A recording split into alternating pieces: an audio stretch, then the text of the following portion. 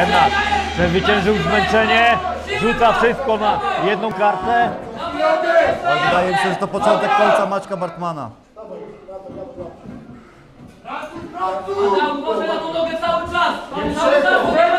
Dużym błędem e, Bartmana jest to, że w każdy cios wkłada 100% siły. Oj, chyba mamy po walce. Ostrzeżenie z dopuszczenia masz tego, tak. Let's go! Walka dalej! Adam, to samo! Cały czas, cały czas!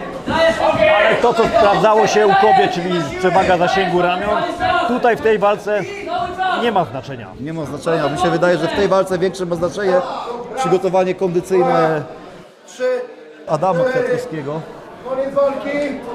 I mamy zwycięzcę. Poprzez niezdolność do kontynuowania pojedynku zwycięzcą zostaje zawodnik z Lubania, czyli Adam Kwiatek Kwiatkowski. Zawodnik z Lubania, czyli walczył przed swoją publicznością. Także mamy pierwszego męskiego zwycięzcę gali One Fist. No widzimy, że potwornie Maciek Bartman zmęczony. Miał bardzo dobry początek. Te Bardzo pierwsze, dobry początek. Pierwsza runda na pewno na jego konto. Był, mimo, że zawodnikiem o mniejszych warunkach fizycznych, on był zawodnikiem bardziej agresywnym, Adam Kwiatkowski! ale przed